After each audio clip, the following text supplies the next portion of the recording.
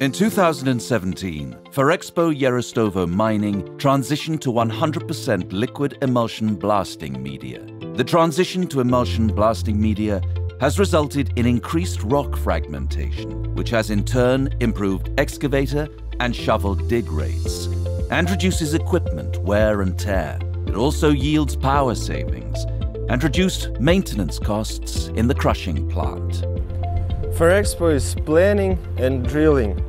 Contractor is charging and blasting the pattern. We are using emulsion and non-electric initiation system.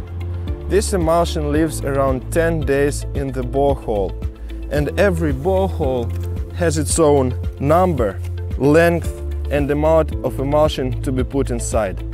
It was almost immediately clear that increased fragmentation enabled better digging and less wear on the machines. Notably, the floor of the Yeristovo mine is now made up of much smaller rock fragments, which is less wearing on the tires of the haul trucks, allowing them to run for longer. Meanwhile, optimizing the firing sequence has reduced seismic vibration caused by blasting. Using the more powerful liquid emulsion also allows the blasting holes to be spaced further apart, reducing the amount of drilling per cubic meter and saving drilling capacity.